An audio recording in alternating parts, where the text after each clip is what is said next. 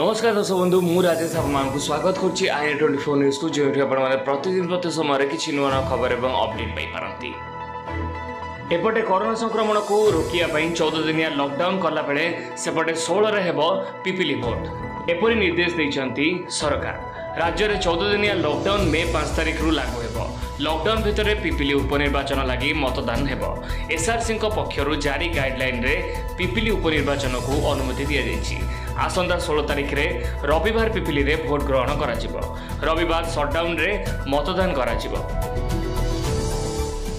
ପିପିଲି ଉପନିର୍ବାଚନ ସହ ଜଡ଼ିତ ବ୍ୟକ୍ତି ଅଧିକାରୀଙ୍କ ଉପରେ କଟକଣା ରହିବ ନାହିଁ ଏଥିସହ ନିର୍ବାଚନ ଟ୍ରେନିଂ ପୋଲିଂ ଷ୍ଟେସନ ନିର୍ବାଚନ ସାମଗ୍ରୀ ପରିବହନ ଜାରି ରହିବ